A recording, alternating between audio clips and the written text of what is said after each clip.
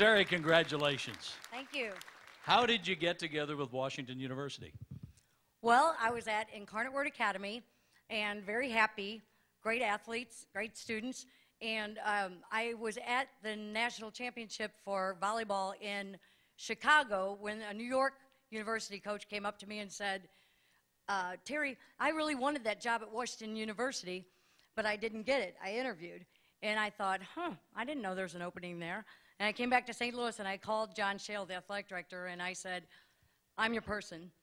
And uh, went over the next day, and he went on to tell me that in 104 years of the university, they had never won a national championship. And how long did I think it would take me to win one? And I really wanted to be there, and I said, it would take me five years. And um, I spent the rest of the day interviewing with people all over campus, and by the end of the day, I was exhausted, but I was sure that I wanted that job. Howard Cosell was coming the next day, and he was going to dedicate the brand new facility, and I was sure I could recruit to that, and I wanted to be part of it. And so John Schael said, um, How much do you make at Incarnate Word? And it was quite a while ago.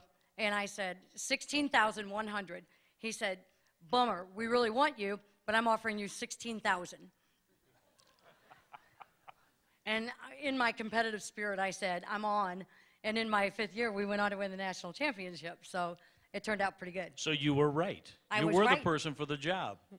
I was how, right. How about having success at Washington U? What has been the big key? Of course, you have the smart athletes. You know that. Well, I think on the volleyball court, as well as any arena, it's, it's a great combination to um, have great skills, great athleticism, um, great competitiveness, competitiveness, but also to have great academia. And you added all that together, and I was a very fortunate woman. And for those families who have young ladies who are interested in pursuing volleyball in school and, and looking maybe beyond that, what advice do you have for them? Well, I'd probably have the same advice that I'd have for my own children. I have six children because all volleyball coaches want six.